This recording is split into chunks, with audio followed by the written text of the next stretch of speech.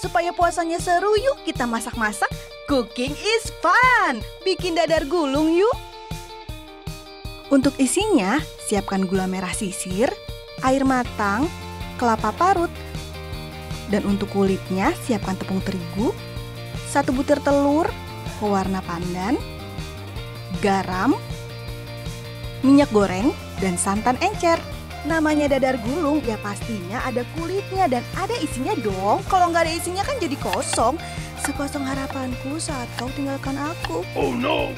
Kita bikin dulu isinya. Nyalakan kompor jangan lupa. Masukkan semua bahan isi ke dalam pan atau panci.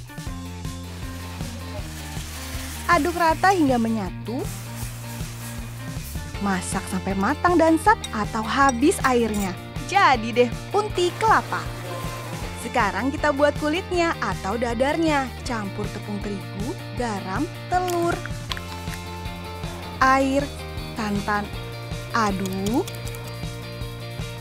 kasih minyak, pewarna, aduk lagi, aduk terus hingga adonan halus sehalus tutur katamu saat kamu merayu minta tas baru.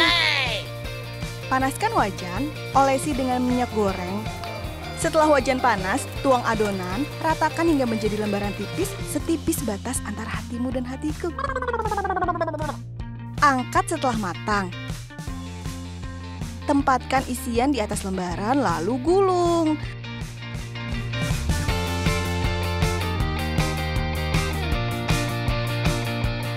Dadar gulung siap dihidangkan untuk buka puasa. Kalau mau porsi lebih banyak, kalian kalikan saja ya resepnya. Tuh kan benar, cooking is fun. Ikuti terus beragam menu praktis berbuka puasa dan sahur selama Ramadan di Kompas TV.